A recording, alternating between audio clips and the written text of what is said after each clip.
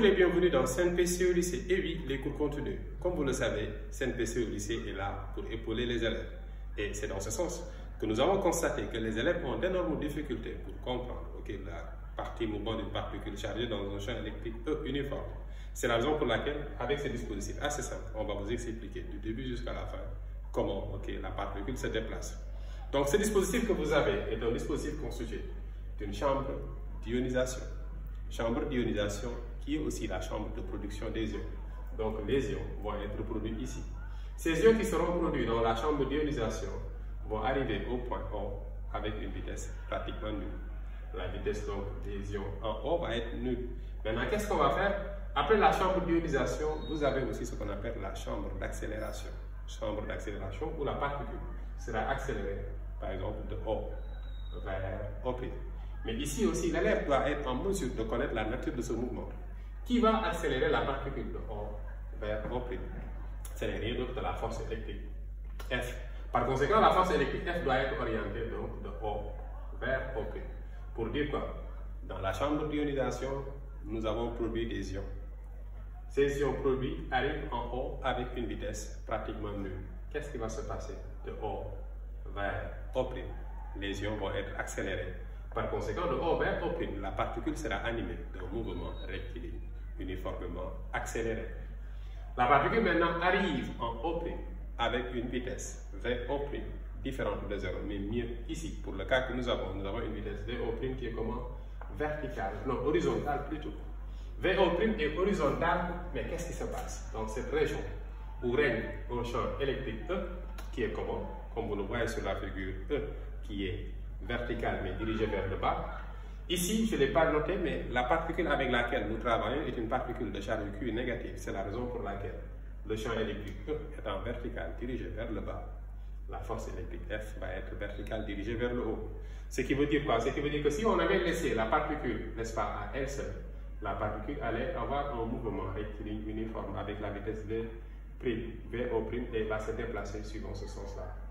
Mais dans cette région, la particule va subir une force électrique F qui est comment Une force électrique F qui est verticale dirigée vers le haut.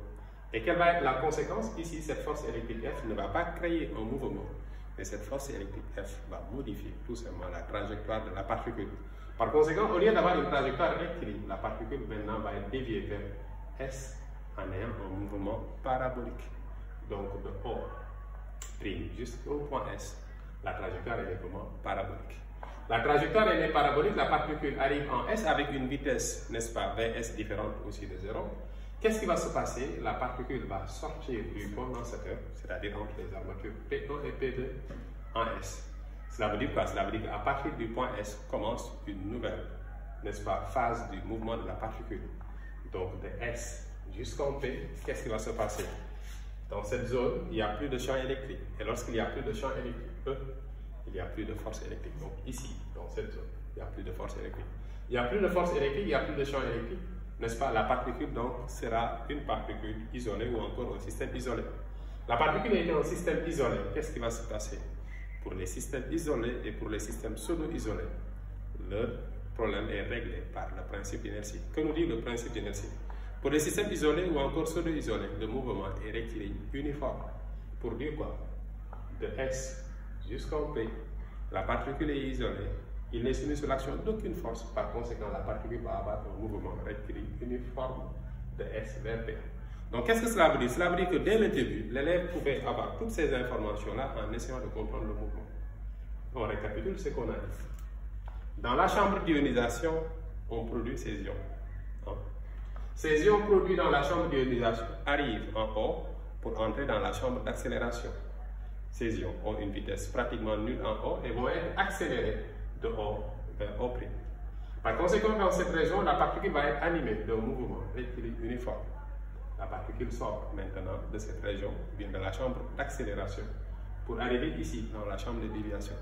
Dans cette chambre, qu'est-ce qui va se passer? La particule va subir à nouveau une force électrique, mais cette fois-ci, la force électrique E va dévier la particule de O' vers S. Par conséquent, la particule donc sera animée d'un mouvement parabolique, de trajectoire parabolique de OP vers S. La particule maintenant va sortir du condensateur ou bien des deux armatures P1 et P2 au point S et au-delà du point S, le système, la particule sera isolée et par conséquent, il va être animé d'un mouvement rectiligne uniforme.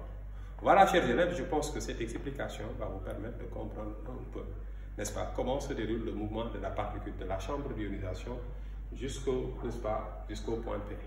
Donc, CNPC au lycée vous donne rendez-vous très bientôt pour une nouvelle vidéo d'une explication de notre concept en physique ou bien en chimie. Je vous remercie.